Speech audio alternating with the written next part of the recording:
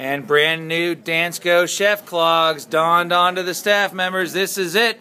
We are heading to the grand finale. Weathervane's, Chef Ryan Payne and team. Congratulations, Ryan Payne. You just became victorious over Il Palio in Battle Ash County. Goat Lady and Hillsborough Cheese. Battle Cheese. How'd you feel about today? We were stoked, man. We were stoked now to get another protein. So, you know, the cheeses were fantastic to work with. We enjoyed it.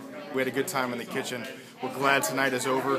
We're, we're looking forward to going and having a beverage and, and being able to sleep. Going to, you, you need a glass of water? Yeah, we, we need several glasses of water. Vanessa, you did mostly the pastries. You were in charge tonight of the cheddar sticky bun. What a fabulous job. How'd you enjoy working in your Dansko clogs all day I today? loved them. I've been a Dansko fan for a long time. For a long time.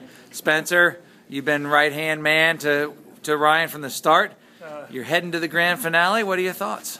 uh, exciting. Uh, hopefully, it won't be as hot next week. and probably will be just as hot. Congratulations, Chef Ryan Payne of the Weathervane. They head on to the grand finale.